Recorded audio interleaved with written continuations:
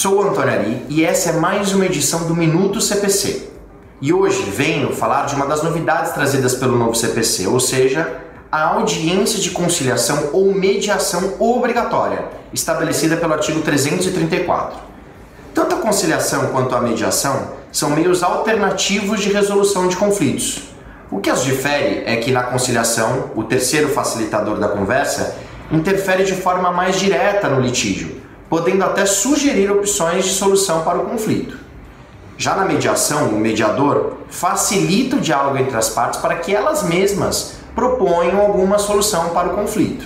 Outra diferença está pautada no tipo de conflito. Para conflitos objetivos mais superficiais, nos quais não existe relacionamento duradouro entre os envolvidos, aconselha-se a utilização da conciliação.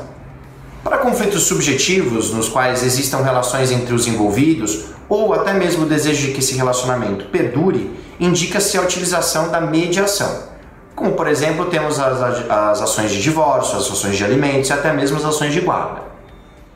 O novo CPC trouxe, como já dito, a audiência de composição como questão obrigatória.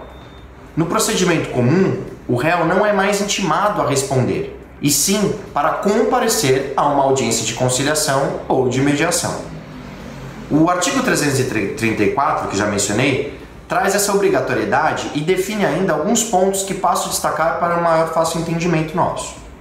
Número 1. Um, entre a data da designação e da audiência, deve haver um hiato mínimo de 30 dias, enquanto que o réu deve ser citado pelo menos 20 dias antes da realização dessa audiência. Número 2. A audiência será presidida por conciliador ou mediador, sendo possível que seja presidida por um servidor com outras funções em locais que não hajam essas figuras. Número 3. A audiência de conciliação ou mediação poderá ser cindida quando a autoridade que a presidir entender necessário, não podendo ser marcada essa continuação para uma data superior a dois meses da primeira sessão. Número 4 o autor é intimado por seu advogado, já o réu, por ser sua primeira participação no processo, é intimado pessoalmente.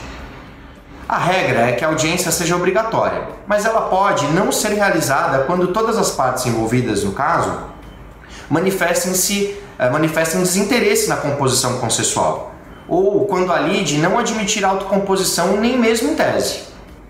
Lembrando que para que não haja audiência, todas as partes envolvidas devem requerer de forma explícita, não bastando apenas o desinteresse de uma das partes, todas têm que querer. O autor deve indicar que não quer a audiência logo na petição inicial, enquanto o réu poderá fazê-lo numa petição autônoma, desde que com uma antecedência mínima de 10 dias da data marcada para a audiência. Não mais se admite uma, que uma das partes falte a essa audiência de conciliação e justifique alegando simplesmente o desinteresse em conciliar ou em fazer um acordo. A parte é obrigada a comparecer sob pena de multa. Além disso, a parte não poderá comparecer desacompanhada de um advogado, de modo a garantir o conhecimento das implicações jurídicas e de qualquer acordo a ser celebrado na audiência, bem como as consequências de não fazer o acordo. O, a autocomposição por uma conciliação ou mediação será reduzida a termo e homologada por sentença.